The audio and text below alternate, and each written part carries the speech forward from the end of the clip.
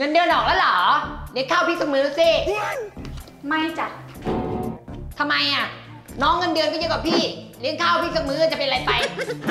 เป็นสิพี่ ก็เงินเดือนพี่น้อยโอ้พี่อะจะไม่มีปัญญาเลี้ยงคืนหนูนะเซ่ไหนอะ ชานมที่พี่ฝากซื้ออะ อ๋อ คือตอนที่พี่ไลน์มาหยกอยู่ออฟฟิศพอดีเลยอะ แล้วทำไมหนูถึงไม่ไปซื้อให้พี่อีกรอบอะ มึงเป็นพ่อกูเหรอ พี่คะคือ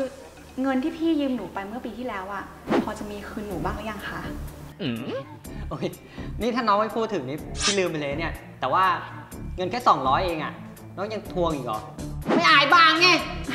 ใช่ค่ะแค่ 200 แค่ 200 มึงยังไม่มีปัญญาคืนเลยอยาจบ นี่ค่ะแป๊บซี่ที่พี่ฝากซื้อ 18 บาท 15 บาทกันคนกันเอง ได้ค่ะ